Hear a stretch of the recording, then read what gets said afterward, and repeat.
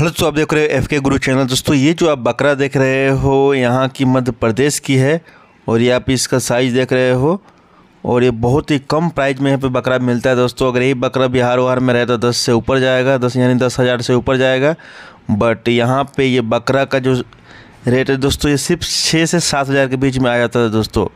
यानी तीन से चार हज़ार रुपये यहाँ पे आपको बकरा का कम पड़ता है।